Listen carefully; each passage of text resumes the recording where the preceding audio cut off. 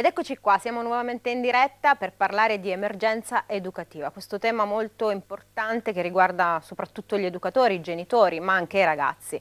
Vogliamo invitarvi, facendo un po' uno strappo alla regola quest'oggi, anche ad intervenire in diretta perché l'argomento ci pare interessante, quindi se avete dubbi o comunque perplessità su come educare i vostri figli, chiamateci allo 0882 41 83 80. I nostri ospiti oggi e do subito a loro il benvenuto. Luciano Riccardi, insegnante di religione, benvenuto. Grazie. E Alessandra Gatta, un ritorno gradito nei nostri Buongiorno. studi. Grazie, grazie Alessandra, grazie Luciano. Dunque riprendiamo il nostro argomento, eh, ne abbiamo davvero mh, mm, per tanto tempo, insomma. Certo. Possiamo parlarne eh, per tanto, anche perché c'è questa emergenza, quindi mh, mm, è nostra mm, premura anche prepararci a questo e formarci. E a volte si dice educarsi per educare ed è forse la, la chiave giusta no? per introdurre anche questo discorso.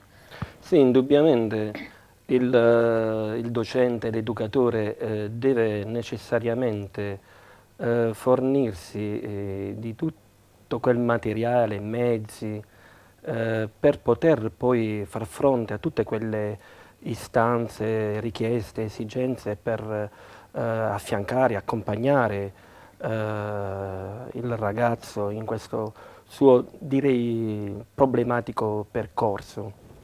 In maniera particolare oggi possiamo dare anche un sottotitolo alla nostra puntata, al nostro incontro, educare, emergenza educativa, incarnare la fede nella cultura, anche perché ci troviamo nell'anno della fede, mh, volutamente, eh, voluto fortemente, ecco, in un certo senso da Benedetto XVI, lo ha indetto nell'ottobre scorso, quindi inseriamo bene anche questo argomento, come educare alla fede i giovani.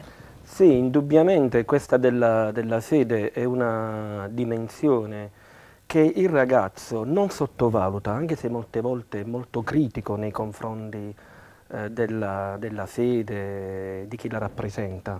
Eh, però bisogna capire eh, le motivazioni per cui i ragazzi molto spesso hanno delle riserve nei confronti eh, della Chiesa e anche del, del, credere.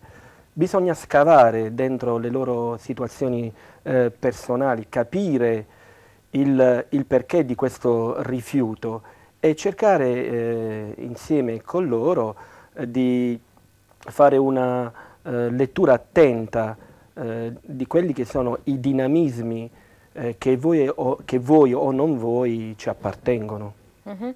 um, probabilmente noi educatori, comunque genitori, eh, siamo chiamati anche a leggere un po' i segni no, dei tempi. Questo è un invito che ci viene addirittura eh, ci viene fatto a, dal Concilio Vaticano II, quindi sono passati 50 anni, si è celebrato proprio quest'anno l'anniversario. Leggere i, tempi, i segni dei tempi ancora oggi è, è fondamentale, è necessario. Sicuramente, perché molto spesso siamo facili ad azzardare giudizi sui ragazzi, eh, però non ci soffermiamo a, a, a, leggere, a, leggere, le loro storie personali, eh, le situazioni, gli episodi, eh, certi fenomeni. E per cui alla fine si limita il tutto ad esprimere un giudizio e finisce lì, invece no, è sbagliatissimo bisogna invece aiutare i ragazzi a saper interpretare, decodificare eh, quegli elementi, quei, quegli episodi, quelle situazioni eh, che spesso eh, possono nascondere magari il desiderio o la rabbia eh, di voler trovare qualcosa di bello, di utile, di significativo per la propria esistenza, ma che intanto viene soffocato.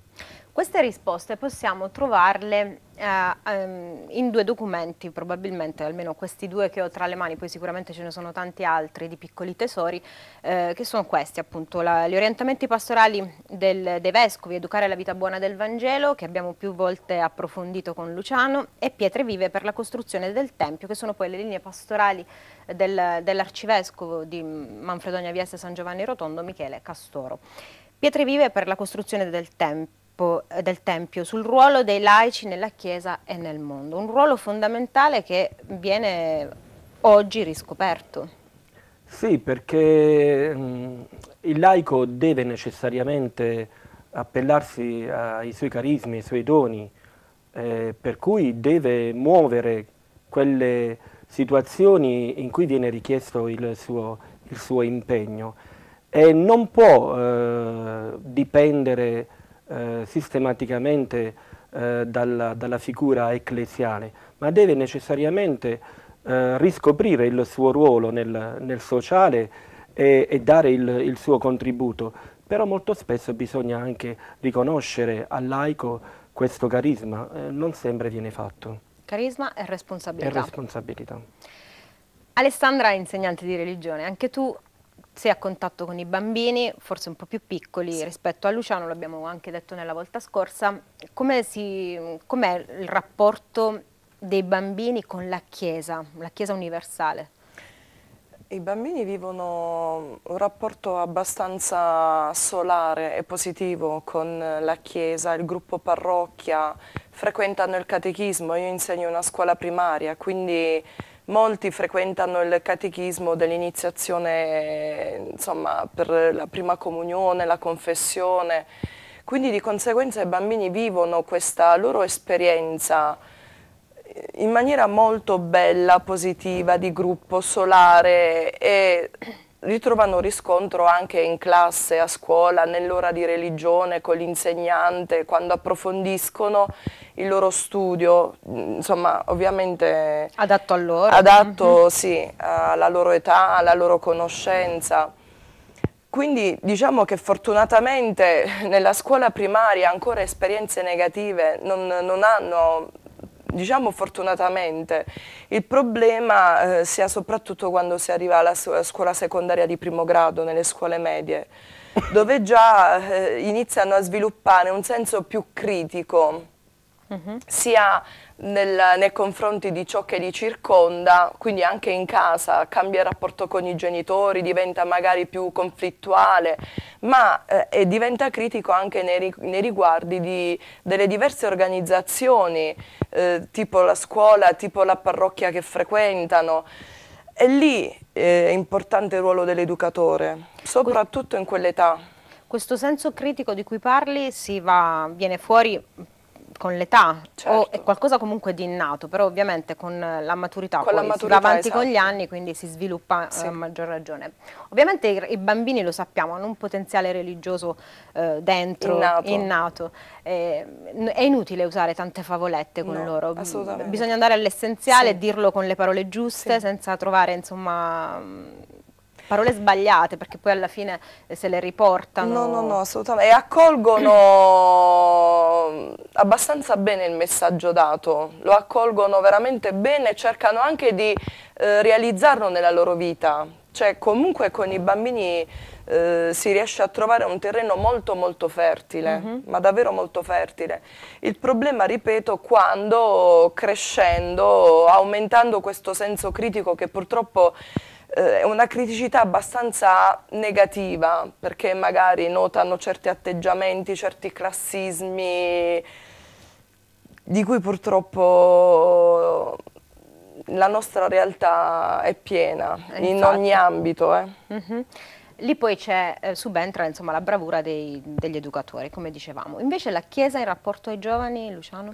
Sì, eh, la Chiesa in rapporto ai giovani dovrebbe, a mio avviso, cambiare un po' le, le modalità di approccio, perché eh, intanto ha a che fare con eh, dei ragazzi che eh, esternano una, una, certa incredulità nei confronti eh, della Chiesa. Questo perché eh, la Chiesa non sempre ehm, offre un, un ambiente, un, un clima ehm, che possa eh, farli sentire eh, a casa loro, eh, in famiglia, offrendo loro anche del, degli spazi, offrendo loro delle opportunità per poter valorizzare al meglio eh, i loro talenti, i carismi, un po' tornare al, all'oratorio alla Don Bosco Maniera, eh, dove, dove il ragazzo eh, veniva in un certo qual modo messo nella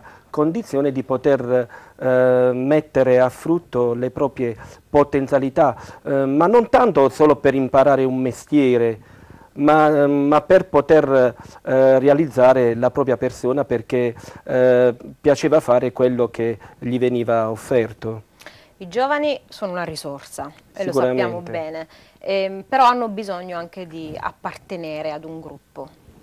Sì, ehm, quello che stavo dicendo un po' prima, eh, loro il fatto eh, di avere delle riserve nei confronti della madre chiesa eh, perché proprio non hanno trovato più quegli, quegli, spazi o quelle persone capaci di entrare in punta di piedi eh, nelle loro situazioni spicciole. Eh, la Chiesa è questo che deve fare, deve mettersi al passo con, con i tempi e con le situazioni eh, concrete con, con, le quali i giovani si trovano a, a confrontarsi e, e, offrire loro eh, quelle opportunità, eh, quelle direi strutture, eh, situazioni per, per, mettere loro nella condizione di esprimersi eh, al meglio. Al meglio. Dubbi, incertezze, Alessandra, fanno parte della vita dei giovani soprattutto questi, questi, problemi forse li inculchiamo proprio noi adulti. Sì. Loro hanno bisogno di sentirsi amati, accolti in un certo senso. Qual è la, la via più facile, se vogliamo, per giungere a questo obiettivo? Um, per quello che mi riguarda si dovrebbe, anche la tua esperienza. Sì, sì, sì, eh, si dovrebbe comunque dare loro la libertà di esprimersi. Molto spesso si, si pongono delle regole, dei diktat. Mhm. -huh. Ci sono queste regole, bisogna seguirle e così e basta. No. Se ci sono delle regole e, e si devono rispettare, cercare di, di spiegare il perché si debbano rispettarle. O magari ognuno in maniera libera le rispetta secondo che il, quello che è il proprio carisma, la propria libertà. Io credo che è proprio questo che manchi oggi ai giovani, il, ehm, il sapersi porre nei loro riguardi eh, dando delle spiegazioni, perché ripeto, cioè, dare delle regole e poi non, non, motivare il perché ci sono queste regole, spiegare loro la necessità di seguirle e poi ognuno nella propria libertà, nella propria forma, rispettarle.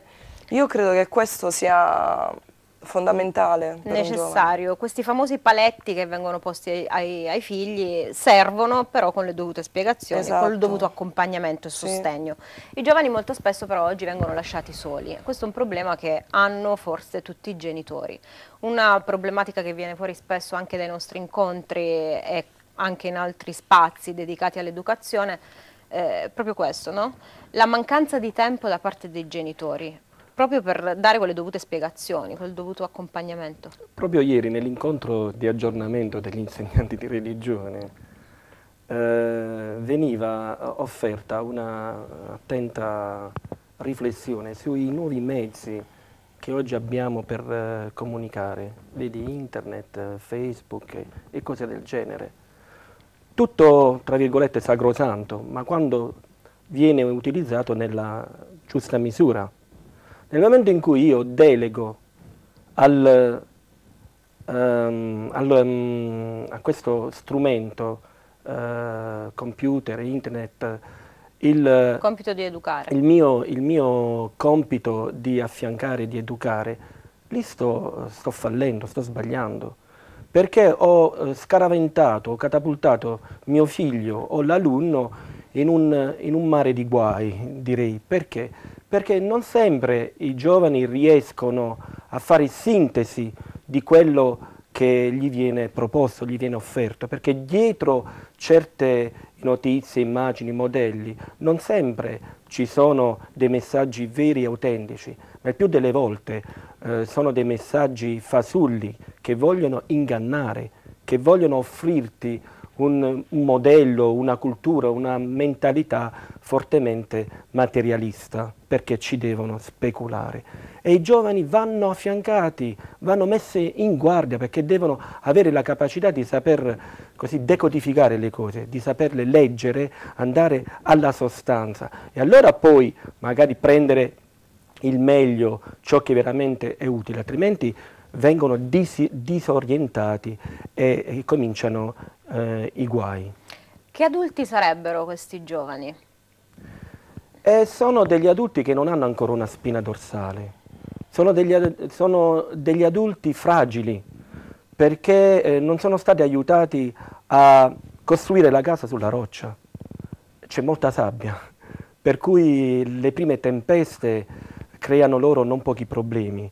Gli uragani di questi giorni, soprattutto quello di Taranto, eh, è, un'immagine eh, reale di quello che succede nel, nel, mondo dei giovani. Molto spesso vengono sballottati a destra e a sinistra, eh, confusi e non capaci di, di, di fare il, il punto della situazione. Per cui non sei più tu che vivi la tua vita, non ti appropri della tua vita, ma sono altri che hanno deciso per te. Però questi uragani, usando l'immagine che ha usato Luciano, Alessandra, servono ai giovani anche per formarsi, sì. quindi bisogna saper cogliere anche il lato positivo in queste Assolutamente, eh, guai se i giovani non avessero dei dubbi o delle incertezze, cioè mai nessuno si può dire di essere arrivato, assolutamente.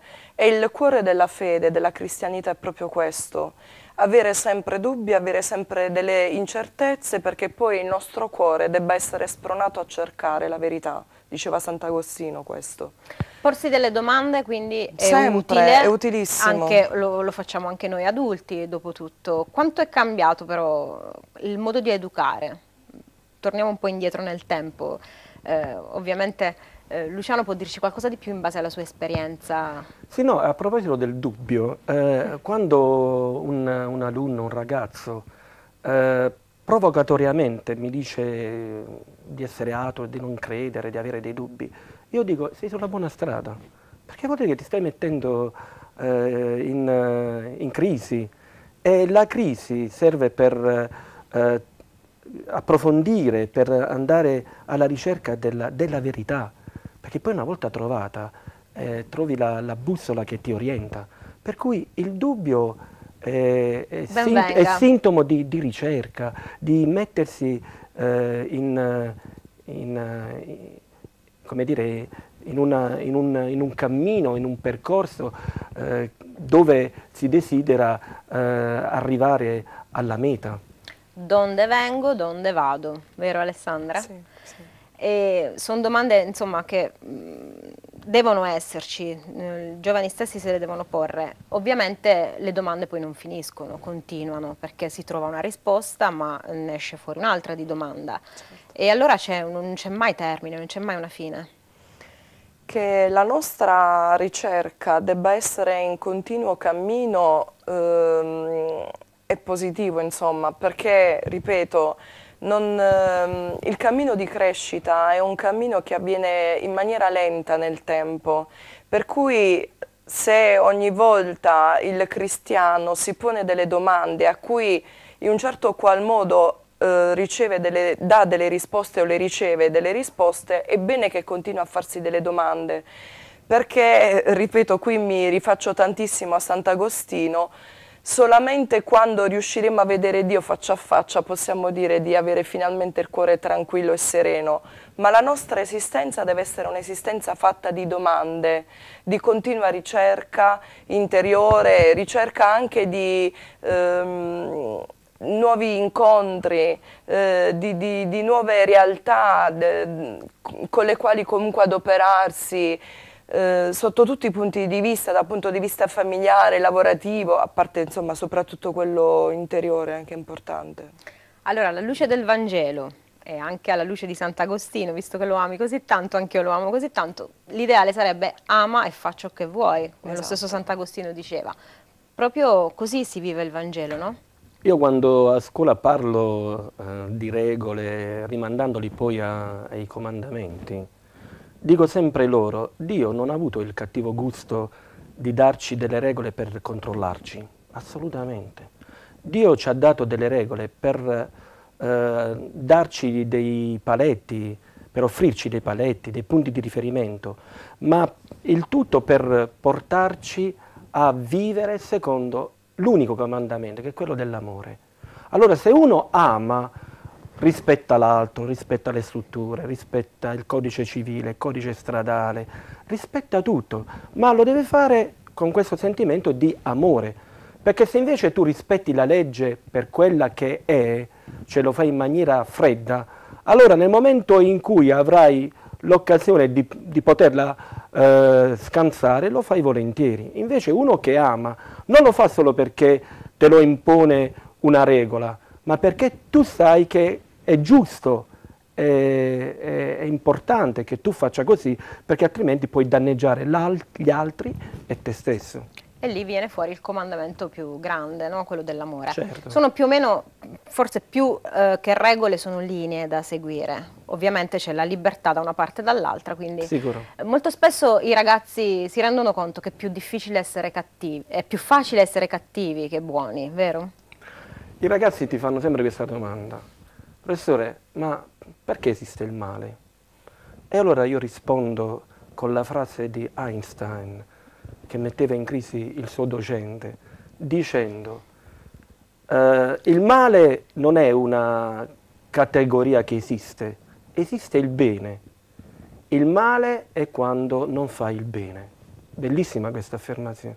Cioè il male è una cosa che riguarda il nostro non adempiere al bene, il non fare il bene, perché noi siamo stati creati per il bene, per fare il bene per amare. Per cui nel momento in cui io vengo meno a questo bene, allora determino il male. Ma di per sé esiste la, la categoria del bene. Rientriamo nella Chiesa e si parla spesso, eh, soprattutto in questi ultimi tempi, di nuova evangelizzazione. Quale ruolo hanno i giovani nella nuova evangelizzazione? E questa è una grande sfida per la Chiesa, perché la, eh, il Vescovo li ha definiti sulle linee pastorali uh -huh. la generazione incredula.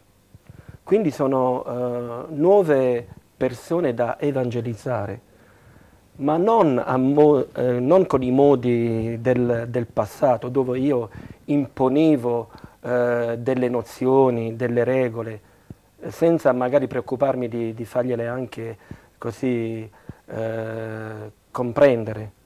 Invece devo aiutare loro a, mh, innanzitutto a fare un incontro eh, personale con questo Dio che si manifesta nelle situazioni concrete, nelle vicende, attraverso eh, degli episodi, ma anche attraverso eh, delle eh, situazioni di, di, fallimento, di, di gioia, eh, in ogni, in ogni circostanza. Per cui se aiuti il ragazzo a fare questo incontro reale di Dio, che non è una, una nozione astratta, ma è una persona che si fa presente nella, nella, tua vita, nella tua strada, allora cominciamo a dare degli elementi, eh, direi, significativi per questo loro riprendere in considerazione il cammino eh, che porta alla fede. Dicevamo, eh, nuove, a proposito di nuova evangelizzazione, tu sei andato proprio a scavarci anche un po' dentro, mh, mm, come strumenti utili alla comunicazione e quindi alla nuova evangelizzazione possiamo utilizzare anche questo eh, che stiamo utilizzando noi certo. adesso, no? In questo caso però, al contrario di quello che dicevamo prima, con Facebook, internet, eh, i ragazzi abbandonati a se stessi, questo strumento può essere utile per evangelizzare. Esatto, lo diceva anche il Concilio Vaticano II, i mezzi di, di, comunicazione cioè, sono molto importanti, sono indispensabili per poter arrivare nelle case di, di, tutti coloro i quali hanno voglia di, di, approfondire, di ascoltare, ma anche semplicemente per dare incuriosire, per per fare in modo che poi eh, Vengano fuori quelle famose domande. Esatto, ci si pongano poi delle domande. Quindi sicuramente utilizzati nel miglior modo possibile questi mezzi riescono ad essere molto molto efficaci, tantissimo. In questo modo i giovani stessi poi si mettono in gioco, no? Certo. Eh, mentre Alessandra richiamava il, il Concilio Vaticano II, a me veniva eh, facile ricordare anche il Concilio Vaticano I, che affermava una cosa importante, la fede non può fare a meno della ragione. Che bella sta cosa qua, però nessuno l'ha capita, almeno mh, mm, mi sembra, perché soprattutto in quel periodo la, la ragione eh, non veniva utilizzata, eh, si prendeva per buono tutto quello che ti veniva eh, offerto. Invece Dio non ci tratta eh, come degli idioti, Dio ci ha fornito di una, di una, ragione, vuole che noi le cose le, le pensiamo, eh, vuole che eh, rivolgiamo a Lui anche delle domande e Lui poi a, a modo suo ci dà delle risposte. Sempre. Allora se io comincio a diventare eh, protagonista della mia fede, non sono gli altri che devono decidere per la mia fede, eh, devi andare in chiesa perché è così. Ma non è questo il modo. È la cosa più sbagliata. Allora invece io devo aiutare l'altro a capire l'importanza di vivere questo spazio, questo momento per la mia vita, per, eh, le, mie, per le, mie, scelte, per la mia, per la mia persona. Non a caso poi dopo il Concilio Vaticano I c'è stato il secondo che ha fatto un bel passo avanti con il famoso documento Fides et Ratio, insomma ha messo insieme queste due realtà, fede e ragione, due ali della stessa colomba, come diceva qualcuno, Giovanni Paolo II, insomma eh, si, si va così e si va bene sicuramente, le due cose riescono a camminare eh, a pari passo. Sì. Abbiamo parlato di educatori, di genitori, di insegnanti con questo ruolo che hanno importante. Qual è invece il ruolo dei sacerdoti come educatori? Quale, quale mh, mm, importanza il ruolo del sacerdote? Il ruolo del sacerdote è molto importante per, per un giovane e mm, io un messaggio che vorrei lanciare adesso è questo, che il sacerdote deve necessariamente adeguarsi ai tempi in cui viviamo, perché altrimenti non riuscirebbe a trovare un canale giusto di comunicazione con i giovani.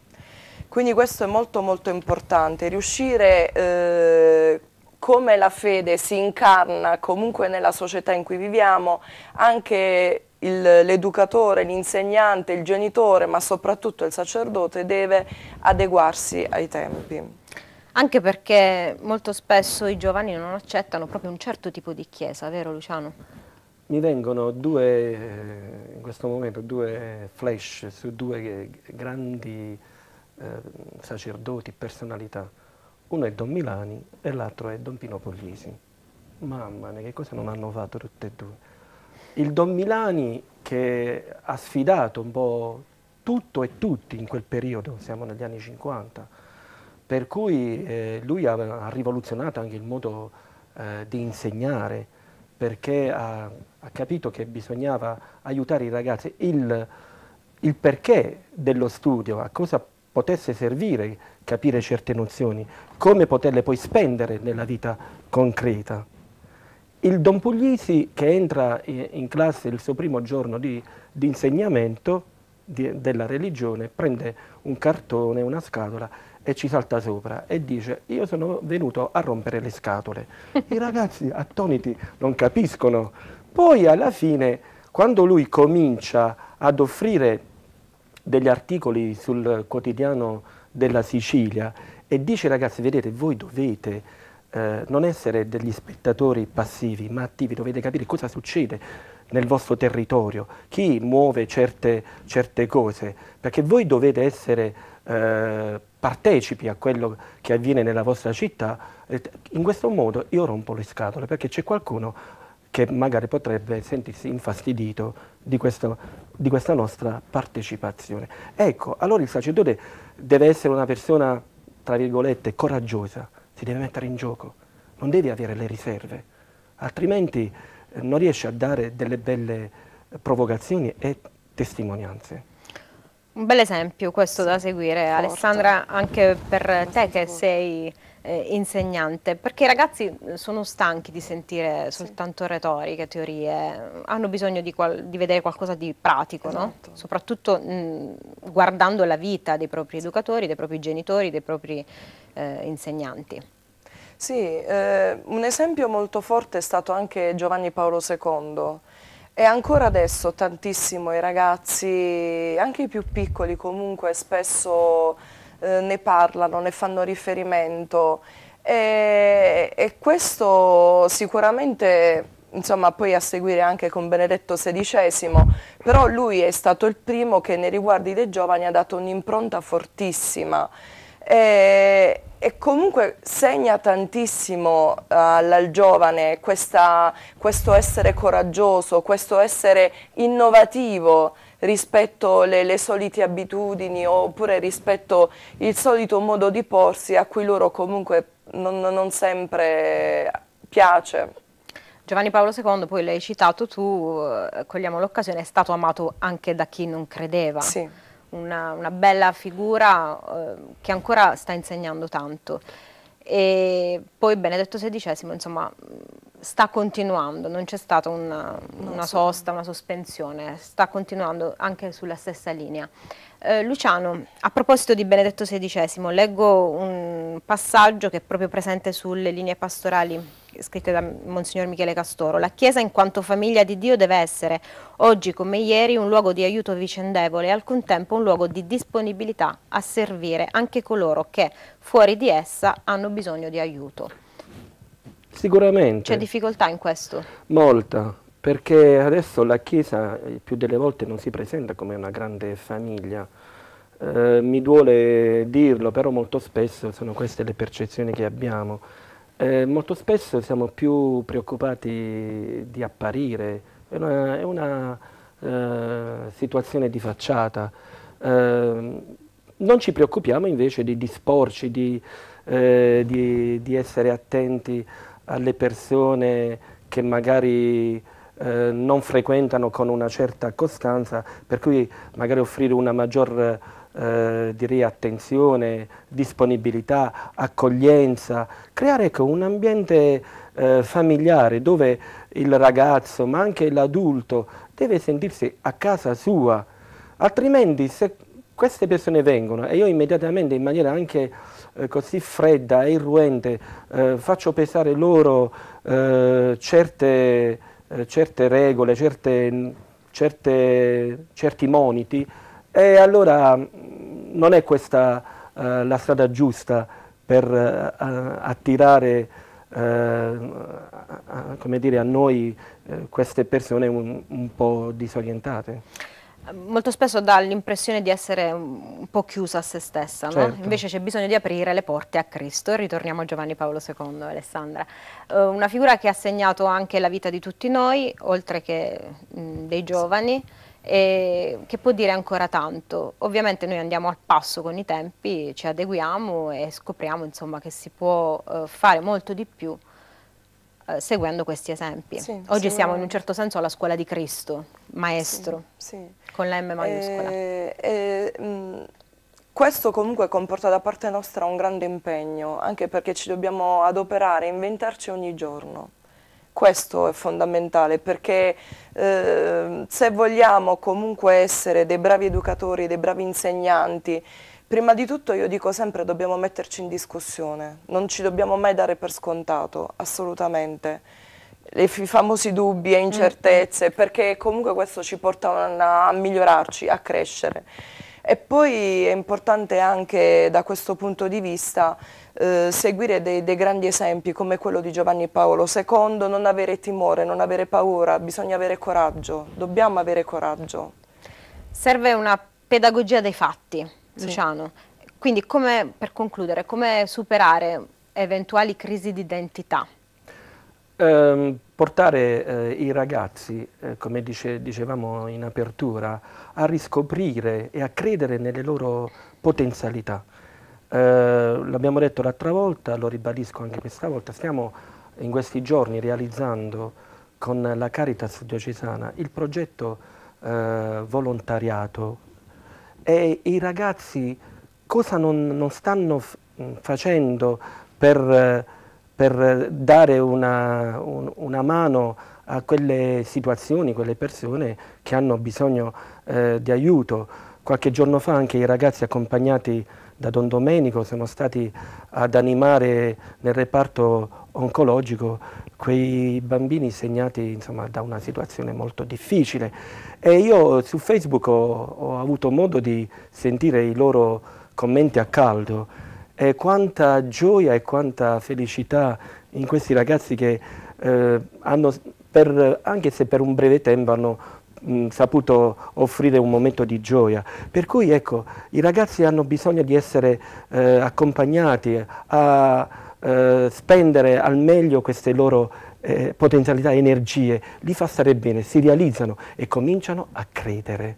Perché il credere non è solo affermare di credere in Dio, eh, per assurdo anche Satano eh, eh, dice che Dio esiste, ma non crede, perché non si affida a Lui, non vive secondo la logica di Dio. E la logica di Dio è quella dell'amore. Se noi portiamo i ragazzi a vivere questo tipo di esperienze, perché loro lo fanno per amore, e questa è fede. Mm -hmm. E ecco perché i giovani sono una risorsa. Sicuro. Quindi eh, stanno insomma eh, cogliere, saper cogliere tutto questo.